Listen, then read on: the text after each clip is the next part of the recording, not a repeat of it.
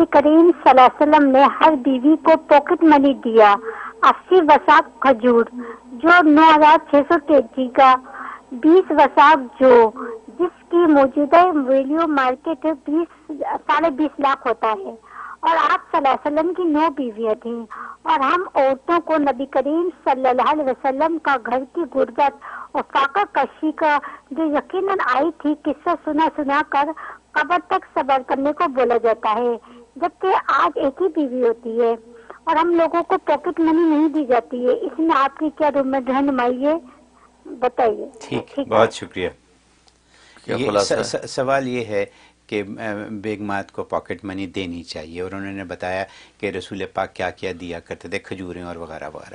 تو تو وہ کہتے ہیں کہ آج کی دنیا میں پاکٹ منی نہیں جاتی بیگمات کو۔ آپ کیا کہیں گے اس سلسلے میں؟ اچھا۔ بڑا اچھا سوال کیا آپ نے۔ کہتے ہیں کہ وہ معاشرے کی دکھتی رگ پہ جو ہے آپ نے ہاتھ رکھا ہے۔ اس سے پہلے بھی ایک بہن کا جو ہے وہ سوال آیا تھا کہ بھی وہ ساری دنیا میں صدقے خیرات بانٹتا پھرتا ہے ہسبینڈ اور بیوی اور بچی کو جو ہے وہ ٹارچر کرتا ہے اور ان کو جو ہے خوشحالی اور مالی مدد نہیں کرتا۔ تو بالکل آپ نے بھی بڑا اچھا سوال کیا کہ بھی عورت کو پاکٹ منی دینی چاہیے کہ نہیں؟ تو بالکل دینی چاہیے۔ بالکل دینی چاہیے۔ اور یہ حضرت کی علومت مجدد ملت مولانا شف علی تھانوی رحمہ اللہ تعالیٰ نے بھی لکھا ہے کہ بے شک یہ شوہر کی کندھوں پہ واجب کے درجے میں تو نان نفقہ سکنا یہ ہے کہ عورت کا کھانا، پینا، رہنا، یہ پہننا، اڑنا سب یہ اس کے ذمہ واجب ہے، اس کو پورا کرتا ہے۔ لیکن فرمایا اس کے علاوہ ایکسٹرا جو پاکٹ منی ایسی دینی چاہیے کہ جس کے بارے میں کوئی سوال اس سے نہ کرے کہ تو نے کہاں خرچ کیا ہے۔ ٹھیک ہے نا؟ اب یہ امریکہ کی دنیا میں مثلا وہ ہر ہر ہفتے ہفتے کا سو ڈالر دے دیا مثلا۔ ہفتے کا سو ڈالر دے دیا مہینے کا پانچ سو یا چار سو ڈالر بن گیا۔ یہ پانچ سو ڈالر وہ ہیں کہ جس کے بارے میں شوہر اس کو پوچھے نا کہ وہ سو ڈالر کا کیا کیا تم نے۔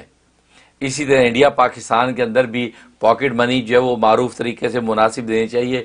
اتنی بھی نہیں دینی چاہیے کہ ایسے لگے کہ خراب دے دی۔ ہیں جو بیس روپے دے دیے۔